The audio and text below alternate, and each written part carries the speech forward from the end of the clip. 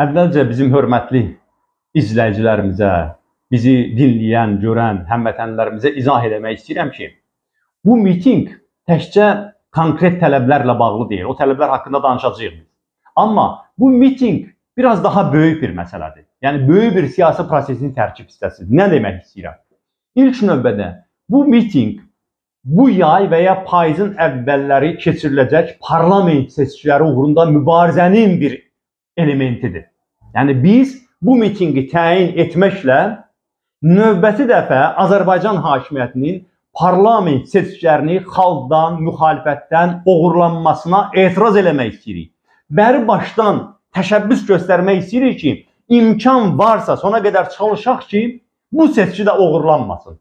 İmkan olsun ki, heç olmasa minimal şərtlər təmin olunsun ki, biz bu seçkilərdə iştirak eləyək. Parlamentdə müxalifət təmsil oluna bilsin. Burada hansısa bir yarış olsun. Əziz həmvətənlər, biz də onu izləyirik. Hər dəfə, xüsusilə qardaş Türkiyədə demokratik seçkilər keçiriləndə Azərbaycan cəmiyyətində bir ruhlanma olur. O seçkidən bizdə niyə yoxdur? Söhbətləri başlayır. Niyə görə Türkiyədə müxalifət onu elədi, getdi, mitinqlər keçirdi, bu tələbi qoydu, bu vədləri verdi, Azərbaycanda bu yoxdur. Bundan trollar da istifadə edirlər. Əlbəttə sizin səmimi hisslərinizi mən başa düşürəm. Bu yaxşı prosesdən, bu xalqa xidmət edən prosesdən bizim ölkəmizdə də olmağını arzulayırsınız. Amma bunu indi hökumət və onun yandaşları bu şəkildə təqdim eləməyə çalışırlar ki, güya Azərbaycanda da bir seçki var imiş. Amma Azərbaycan müxalifəti boykot yolunu tutub bacarmır, yarışa bilmir, miting təşkil edə bilmir. Ona görə də Türkiyədəki o prosesdən burada yoxdur. Türkiyədə müxalifət bunu bacarır, Azərbaycanda müxalifət güya bunu bacarmır. Əlbəttə çox primitiv yanaşmadır. Yalnız məlumatsız adamları aldatmaq olar. Amma çox təəssüf ki, etiraf eləyək ki, ölkəmizdə bu azad mətbuat olmadığına görə məlumatsız adamlar da az deyil və hökumət bu informasiya ilə manipulyasiya edir. Baxın, bizim indi bu miting təyin eləməyimiz Çünki mitinqin əsas tələblərindən biri azad seçkidir, seçki islahatıdır. Biz bu seçkilərdə iştirak etmək üçün zəmin yaradılmağını istəyirik. Bilirsiniz, necə bir seçki ola bilər ki, orada mitinq olmasın? Bir düşünün, Türkiyədə hansısa bir seçkin görmüsünüz siz mitinqsiz olsun? Mən indi özüm başqa ölkələr danışmıram, çünki başqa ölkələri az məlumatlısınız. Həmin bizim çoxumuzun baxdığımız, müşahidə etdiyimiz, ruhlandığımız Türkiyə seçkilərini kim təsəvvür edə bilər mitinqsiz? Mitinqsiz seçki olmaz. Olmur da zaten. Bizdə ona görə də seçki olmur. Və biz axırıncı dəfə 8 fevral seçkilərini boykot eləyəndə də açıq dedik ki, biz seçkini boykot etməmişik ki. Seçki yox idi sadəcə olaraq. Biz oyunda iştirak eləməkdən imtina elədik. Baxın, indi də çox açıq deyirəm. Məqsədimiz növbəti dəfə parlament seçkilərinin də bir oyun kimi qapalı şəkildə heç bir siyasi imkanların, rəqabət elementlərinin olmadığı şəraitdə xəlvətcə keçirilməsinin qarşısını almaqdır.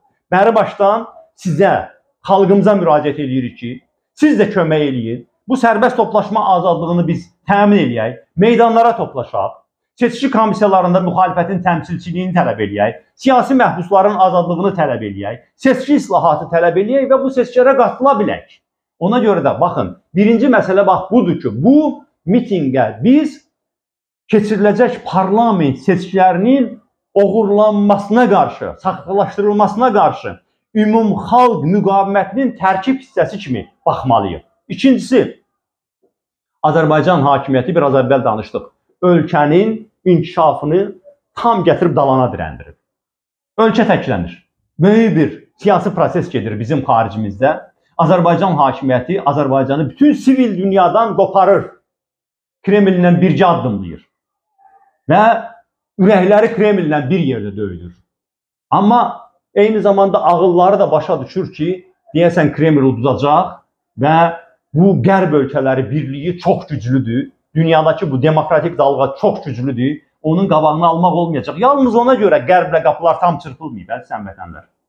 Hələ o dialoqun qalmağı, hələ o telefon danışıqlarının qalmağı, hələ Rusiyanın hər istədiyinin burada 100% yerinə yetirilməməyi ondan bağlıdır ki, Azərbaycan hakimiyyətində olanlar da şəxsən İlham Əliyev özü də başa düşür ki, Rusiyanın qələbəsini nə qədər arzulasalar da, amma o qələbə olmaya bilər.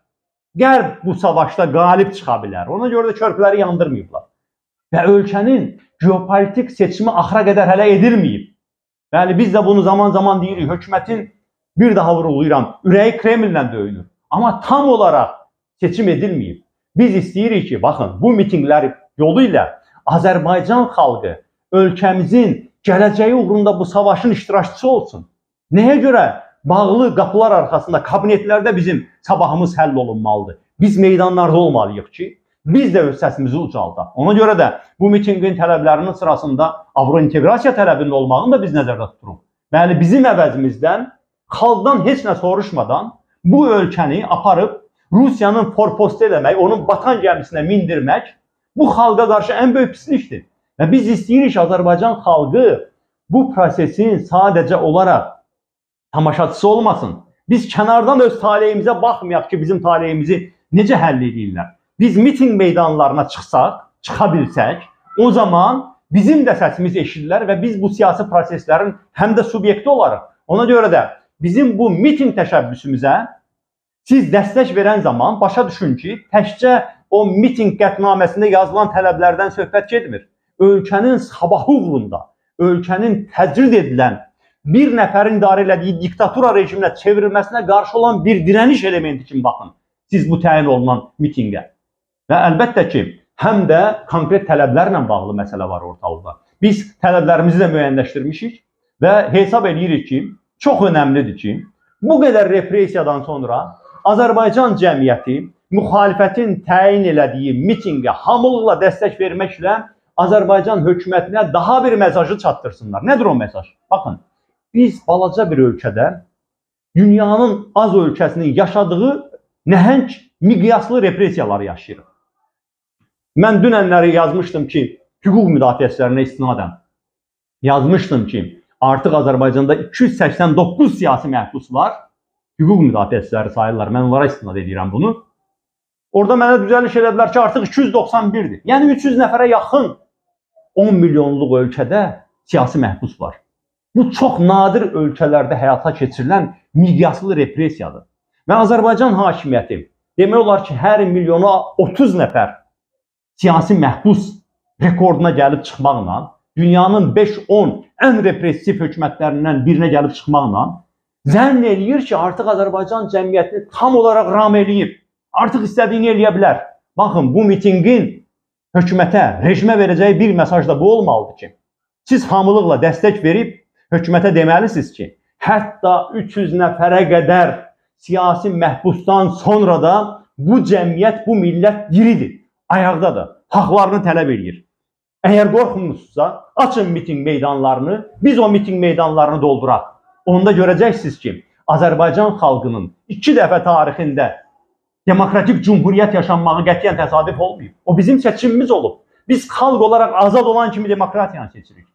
Bizi yalnız işğal eləyib bizim üzərimizdə avtoritar, totalitar sistem qurmaq mümkün olur. Bunun mesajını vermək üçün bir fürsətdir miting sizə əziz həmvətənlər. Ona görə də biz həm xalq cəbhəsinin daxilində müzakirələri apardıq, hər tərəfli bütün strukturlarımızla, həm Milli Şurada bu müzakirələri apardıq və nəhayət qərarımızı qəbul etdik. Qərar ondan ibarətdir ki, Milli Şuranın növbəti mitinqi 21 aprel saat 3-dən 5-ə qədər keçirilməsi nəzərdə tutulur.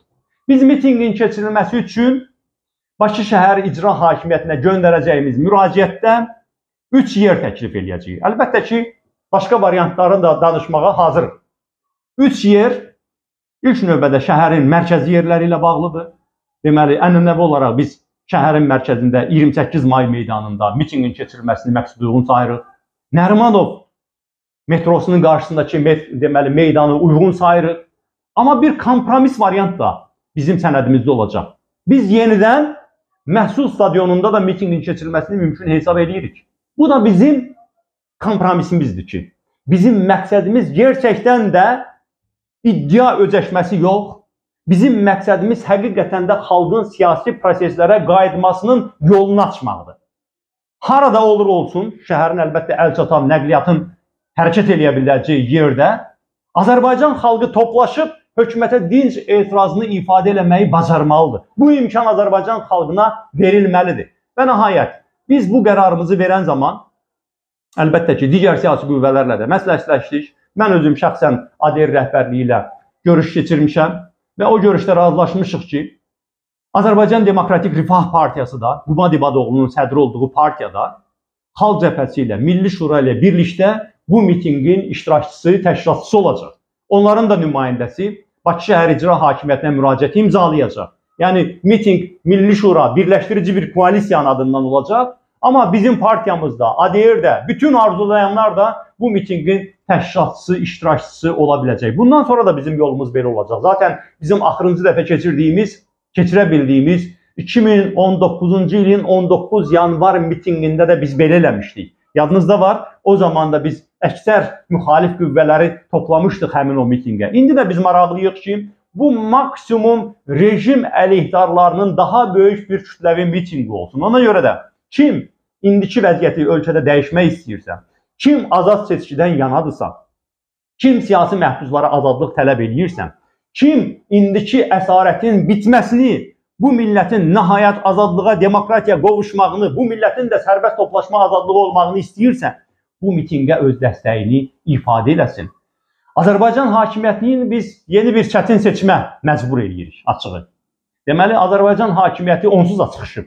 Baxın, prezident seçkilərindən sonra Azərbaycan hakimiyyətinə qarşı çox böyük beynəlxalq təzyiqlər gəlir. Çox böyük.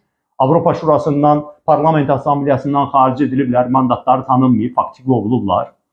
Avropa Birliyinin e, deməli parlamenti çox sərt tələblər qoyub Azərbaycanın qarşısında, sanksiyalarla hədələyib. ABŞ-ın konqresindən və senatından, hətta dövlət katibi səviyyəsində insan haqları ilə bağlı, siyasi məhbuslarla bağlı çox ciddi mesajlar verilib. Bütün demokratik dünya Azərbaycan hakimiyyətinin bu avtoritar idarə etməsinə etiraz eləyib. Hətta hətta Avropa Birliyinin liderləri İlham Əliyevi seçkidən sonra təbrik etdiyinə görə Avropa Parlamenti tərəfindən qınanılıb. Yəni bu həddə qədər beynəlxalq təzyiqlər çoxdur. İndi Azərbaycan hakimiyyəti düşünməlidir. Necə eləyəcək? Daha bir saxta parlament seçkisi, müxalifətin iştirak eləmədiyi, sərbəst toplaşma azadlığının olmadığı, daha bir saxta parlament seçkisi və yenə də Azərbaycan nümayəndəliğinin mandatının tanınmaması, Azərbaycanın dünyadan təcrid olunması, yoxsa nəhayət bu qadağaların götürülməsi, insanların kütləvi şəkildə miting keçirməsinə imkanların yaradılması və heç olmasa minimal şərtlərlə müxalifətin də seçkidə iştirakına yaşıl işıq yandırılması. İndi Azərbaycan hökuməti bu suala cavab verməlidir. Seçim artıq top necə deyirlər, hökumətin tərəfindədir. İndi hökumət qərar verməlidir. Nə deyəcək o Azərbaycan xalqına? Prezident seçkilərini rəqabətsiz keçirdiniz. Rəqabətli seçkidən qorxdunuz. Parlament seçkilərindəmi yenə də rəqabətsiz, saxta yolla keçirib Azərbaycanı biraz da mı dünyadan təcrid eləyəcəksiniz? Yoxsa nəhayət bu ölkədə qadağaların heç olmasa bir qisminin yumşaldılması hadisəsi baş verəcək? Heç olmasa Bu barədə hökumət qərarını verməlidir və Azərbaycan xalqı da bunu görəcək. Azərbaycan xalqı görəcək ki, baxın, biz hətta minimal demokratik şərtlərlə də, baxın, həmin o qardaş Türkiyədəki olan imkanın 30-40% ilə seçkiyə qatılmağa hazırıq. 30-40% ilə də. Amma o olsun. Amma heç kim bizdən tələb eləməsin ki, bir ölkədə ki, sərbəst toplaşma azadlığı yenə də qıfıllanacaq. Yenə də siyasi məhbusların sayı azalmayıb, hətta artacaq heç bir rəqabət imkanı olmayacaq. Seçkilərə nəzarət mexanizmi, monitorinq imkanı olmayacaq. Amma sən də get bu saxtakarlığın bir parçası ol. Onda bizdən lütfən heç kim istəməsin. Ona görə də Azərbaycan hakimiyyəti indi bu çətin suallara cavab verməlidir. Azərbaycan hakimiyyəti bizim bu miting təşəbbüsümüzdən sonra həm də bu çətin suala cavab verməlidir ki, o doğrudanmı inanır ki, o qalib bir hökumətin təmsilçisidir? Həqiqətən də dedikləri kimi inanırlarmı ki, Azərbaycan xalqı da İlham Əliyevə bu qədər böyük rəğbəti var, 92%-lə onu seçiblər. Yoxsa özləri də bunun yalan olduğunu bilirlər. İndi siz bir düşünün, 92 yox. Mən əminəm ki, 32% səsi olan bir siyasi qüvvə rəqabətdən bu qədər qorxmaz. Açsın, açsınlar meydanları. Niyə açmırlar? Əgər özlərinə güvənləri varsa, doğrudan da 2 ay bundan qabaq sən 92% ilə səslə seçilmisənsə, nəyə görə Necə izah edəcəksən bu xalqa ki, ofisi olmayan, sədrinin pasportu, interneti olmayan, bütün yaxınları həbs olunmuş, özü işgəncə görmüş, partiyasının bütün aparıcı funksionerləri uzun müddətli həbs yaşamış, yüzlərlə üzvü hər cür təzyiq görmüş, heç bir maddi imkanları, texniki imkanları, media resursları olmayan müxalifətin miting keçirməsindən niyə qorxursan? Bunun cavabını verməlidir Azərbaycan hakimiyyəti. Ona görə də əziz vətənlər, miting qərarı verilib, o miting qərarını dəstəkləmək, onu bir siyasi prosesə çevirmək, Azərbaycan hakimiyyətinin izahat verməsini məcbur eləmək, bunu təşkil eləmək artıq ümumxalq vəzifəsidir. Biz bunu bir siyasi prosesə çevirməliyik və Azərbaycan hakimiyyətinin heç nəyi ört, bastır eləmək imkanı olmamalıdır. Ya mitinqlərin önü açılacaq, müxalifətin normal, dinç etiraz mitinqləri keçiriləcək və bunun ardınca da müxalifət seçkilərə qatılacaq, yaxud da Azərbaycan hakimiyyəti həm Azərbaycan xalqına, həm dünya birliyinə növbəti dəfə təsdiq eləmiş olacaq ki, o müxalifətlə elementar şərtlərlə də yarışmaqdan qorxur, xalq tərəfindən heç bir dəstəyi olmadığını bilir, yalnız dəyənək gücünə iqtidarda qaldığını bilir, dünya ictimaiyyətinin onun haqqında nə düşündüyünü maraqlanmır, geridə qalmış bir zehniyyətlə idarə olunur,